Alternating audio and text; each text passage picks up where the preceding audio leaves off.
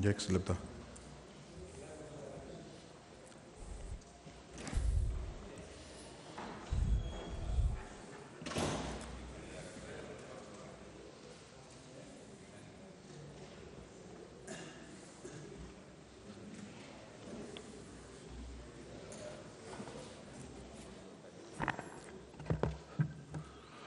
Κύριε Υπουργή, κύριε Πρόεδρε, το 2008 είχαμε στην Ελλάδα 13,5 εκατομμύρια εισφαλισμένους.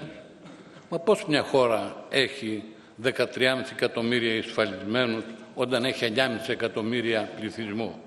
Όλοι ήταν εισφαλισμένοι.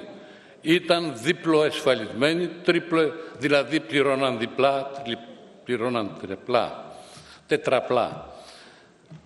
Κοντά στους ασφαλισμένους αυτούς όμως υπήρχαν 147 ασφαλιστικά ταμεία. Αυτά είχαν τις αυτόνομες διοικήσεις.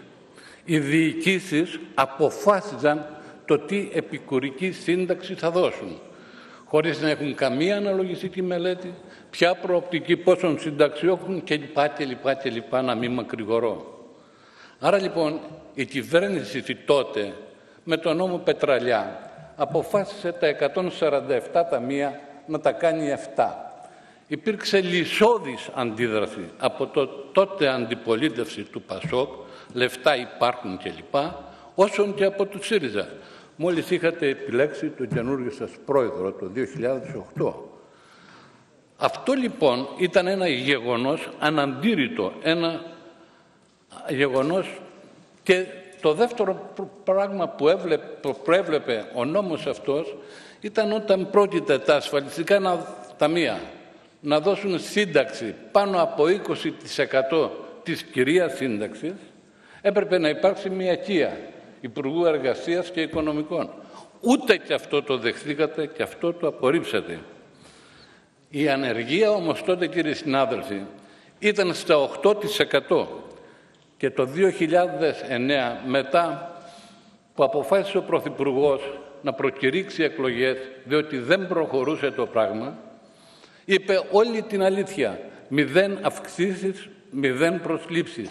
Λεφτά υπάρχουν ο κύριος Παπανδρέου, αφήστε το του υποσχέθηκε ο ΣΥΡΙΖΑ, αυτό είναι αλλού παπά Ευαγγέλιο, το κουβεντιάζουμε άλλη φορά. Άρα λοιπόν, σήμερα πού βρισκόμαστε, βρισκόμαστε με τρία εκατομμύρια συνταξιούχους, εκ των οποίων η μισή, όχι με δικά μου λόγια, βάσει κομεσιών και βάσει Εθνικής Ένωσης Συνταξιούχων, είναι οι νεόπτωχοι φτωχοί και οι άλλοι φτωχοί, πολύ φτωχοί που δεν μπορούν καν να ζήσουν, οι θεόφτωχοι που λέμε στην πατρίδα μου, άλλα 1,5 εκατομμύρια. Πώς προκύπτουν σε αδρές γραμμές αυτά τα πράγματα, διότι η υψηλόμηση είτε ήταν υπάλληλοι της ΔΕΗ, του ΟΤΕ, οι διπλοσυνταξιούχοι, οι τριπλοσυνταξιούχοι, κατά μέσον όρων, μη σας φανεί περίεργο, είχαν 3.300 με 3.700 μηνιαίο εισόδημα. Πολλαπλασιάστε το αυτό επί το 14 μηνιάτικα, θα βρείτε περί τα 50 χιλιάρικα συμπλήν 2. 50 χιλιάρικα, πόσα χρήματα παίρνουν; Ρωτήστε έναν δημόσιο, έναν υπάλληλο της ΔΕΗ, του ΟΤΕ, έναν γιατρό, μηχανικό, δικηγόρο, που ήταν δύο ασφαλιστικά ταμεία. Έπαιρναν 3.500 το μήνα.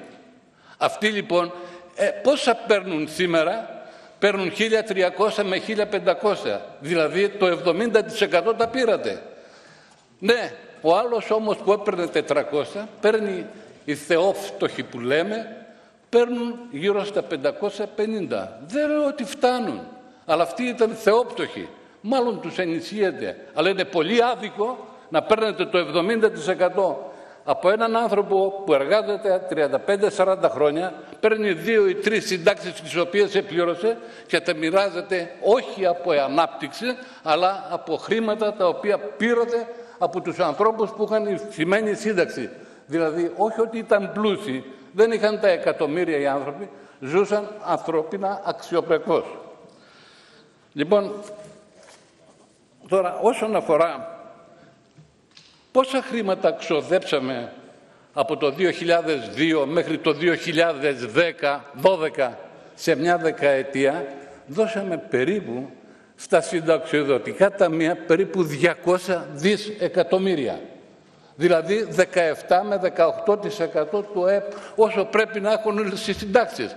Και αυτό κύριε του ΣΥΡΙΖΑ το κρατάτε και σήμερα μέχρι το 2021. Το 2021 μνημονιακή υποχρέωση θα το πάτε στο 12% του ΕΠ. Και τότε να δω τι θα κάνετε. Αλλά το προλαμβάνετε από τώρα. Πώς το προλαμβάνετε; Με τον νόμο Καντρούγκαλου. Έρχεται και λέτε στους παλιούς συνταξιούχους θα έχουμε μείωση των συντάξεων των σημερινών κατά μέχρι και 18%. Μπορεί να είναι 10, να είναι 12, μέχρι 18. Έχετε για τους νέους συνταξιούχους που είναι μετά τον νόμο Καντρούγαλο πόσο θα γίνει η μείωση κατά 30%. Άρα λοιπόν δεν μιλάω για το ΕΚΑΣ το οποίο σε ένα-δύο χρόνια, 18-19 τελειώνει. Δεν μιλάω για μείωση των νέων επικουρικών συντάξεων. Δεν μιλάω για μείωση του ΕΦΑΠΑ. Θα φτάσω όμως με δύο λέξεις μόνο για την υγεία. Λέτε ότι δεν γίνεται καμία περικοπή στην υγεία, όμως τα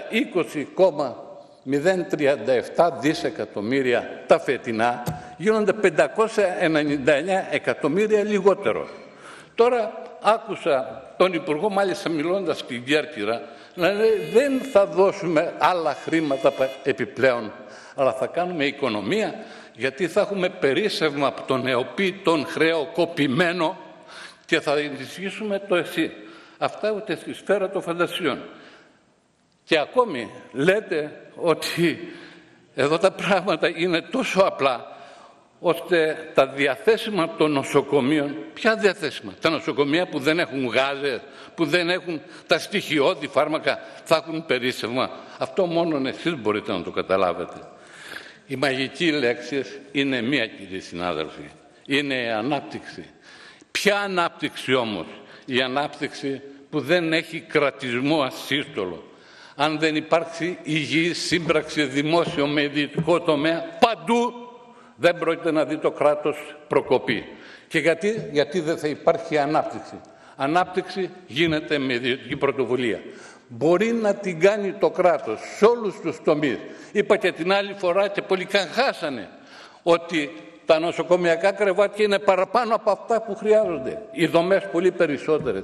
Συνεργαστείτε με τον ιδιωτικό τομέα και πάρετε το 50%, δώστε το 49% στους ιδιώτες, τα κέρδη μισά-μισά σχεδόν και αν υπάρχουν και ζημίες και τις ζημίες μισές-μισές με το κράτος. Και μην ξεχνάτε κύριε συνάδελφοι ότι σας βαρύνει το πρώτο οκτάμενο του 2015. Το φέρετε πολύ βαριός, αλλά το χρέος αυξήθηκε κατά 100 δισεκατομμύρια. Αυτή είναι η αλήθεια. Σας ευχαριστώ πολύ.